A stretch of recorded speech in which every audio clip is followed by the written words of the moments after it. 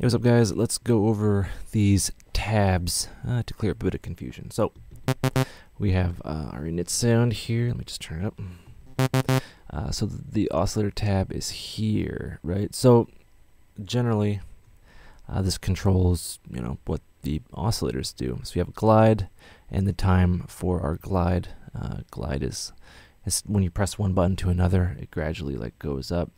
That's pretty self-explanatory. Uh, pitch bend, it adjusts the amount of pitch bend. I like to do my oops. I like to do mine in increments of 12. So, if you want like more of an extreme pitch bend, that works. Uh, so, oscillator phases. What does this mean? So basically, when you have uh, two oscillators going on, you can uh, adjust the the start and stop time of them by clicking this guy. So we have oscillator 1, 2, and 3. So right now they're stacked on top of each other. They're both saws, right? If you don't believe me, just believe me. what I'm going to do is I'm going to adjust the phase. Right, so you can see now they're uh, going out of phase. When they were stacked up, we're basically syncing the oscillators. Can't be modulated, but you know, it's all well and good. Right, so that's pretty neat in case, you know, if you have, say, you have them slightly detuned, you can always just restart them. And that, it does that cool sound of doom.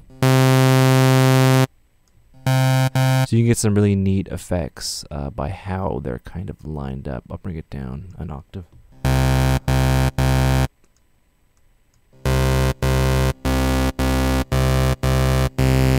See, we're getting different timbres, which is awesome. So I'm going to go new sound. Uh, oscillator phases, pretty cool.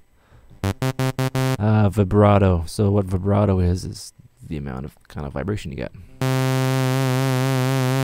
Right? And that's pretty cool and it's and it's uh we'll get into macros later, but it's a, it's um kind of adjusted by this macro down here.